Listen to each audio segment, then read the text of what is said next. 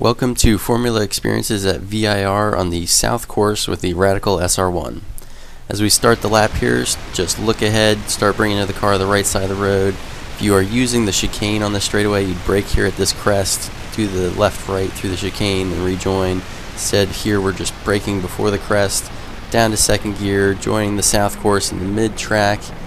Nice late apex, just touching the curb, tracking out to the exit curb, right side over the crest here, and then drawing a line down to the brake zone.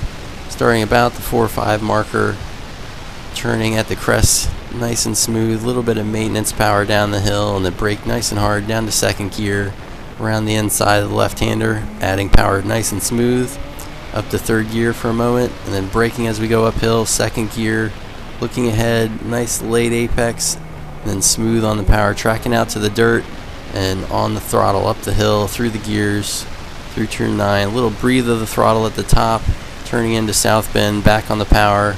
Again, we want to stay off the curbs, just use all the road, and then brake as we go uphill. Nice diagonal through the first apex here. Little brake again as we turn into turn 12, then smooth on the power through the exit. And then again, eyes up, just looking down the straightaway, drawing a line to the right side of the road.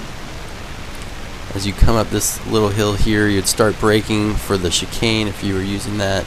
Go through the left side there. Instead, we're braking at the crest, down to second gear, joining the south course in the middle of the road, looking for that nice late apex on the power, nice and smooth. Make sure you don't get out over that curbing because the wall's nice and close there.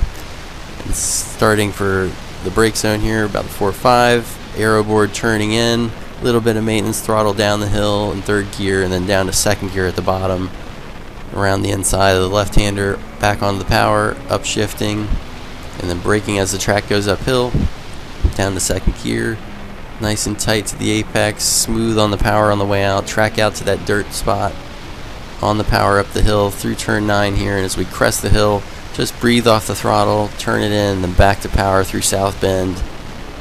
Tracking it all the way out. And then as we get to the uphill on the brakes, nice and smooth. Drawing a line out to the outside, a little brake again, turn it in, get it rotated, and then back to power. And that is two laps at the VIR South Course in the Radical SR1.